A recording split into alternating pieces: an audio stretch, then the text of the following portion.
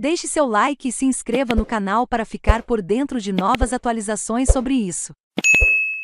Ex-Palmeiras, Danilo marca primeiro gol pelo Nottingham Forest. O meio-campista Danilo, exemplo Palmeiras, marcou seu primeiro gol com a camisa do Nottingham Forest nesta quarta-feira.